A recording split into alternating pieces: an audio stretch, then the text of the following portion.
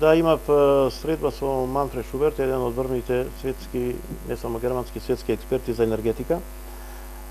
Неговата компанија има проектирано повеќе, сега би рекол депони не се тоа депони, фабрики за рециклажа и обработка и третман на тој отпад, во кои што се изградени во повеќе градови, односно во речици во, во сите урбани центри во Германија, меѓутоа и надвор од Германија.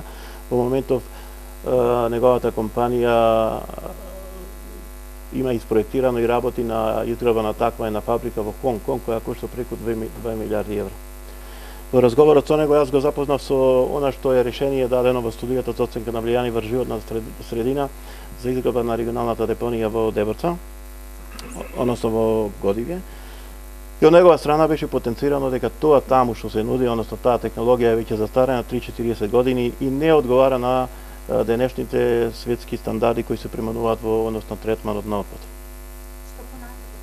Што ви дава значи џукер во рака да вие го предочите. Па добро, тоа и беше целта. Јас и често пати мислам тоа го потенцирав кога и вие новинарите и било кој ќе ме запрашаше па зошто не се согласувате кога во урбаните во светските метрополи тие тие такви депонии односно постројки за третман на отпад во самите градови. Јас тоа се обидував да го докажам и покажам дека она што се нуди во дебата не е тоа тоа.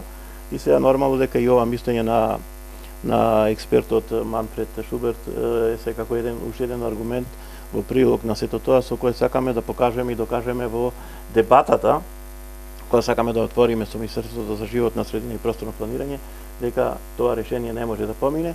А од негова страна сакам да потенцирам дека беше кажено ушено на мојата забелешка дека Локацијата е во сливното подрачје на Охридско презоро, тој тоа енергично го одби, со изненадување рече дека тоа не, не може да се прифати, не сме да се прифати, бидејќи би представувало, ако ги цитирам неговите зборови, вистинско самоубиство.